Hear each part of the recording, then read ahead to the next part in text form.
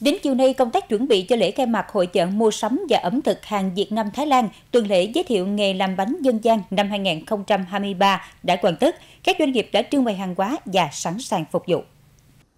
Hội chợ mua sắm và ẩm thực hàng Việt Nam Thái Lan, tuần lễ giới thiệu nghề làm bánh dân gian năm 2023 diễn ra từ ngày 7 tháng 4 đến ngày 16 tháng 4 năm 2023 tại khu trung tâm hành chính tỉnh, kế bên nhà hát Cao Văn Lầu, đường Cù Chính Lan, thành phố Bạc Liêu, do công ty cổ phần quảng cáo và xúc tiến thương mại Thiên Diệt tổ chức. Hội chợ có sự tham gia của 250 doanh nghiệp với 350 gian hàng. Hội chợ có khu gian hàng trưng bày giới thiệu các sản phẩm nhập khẩu từ Thái Lan phục vụ người tiêu dùng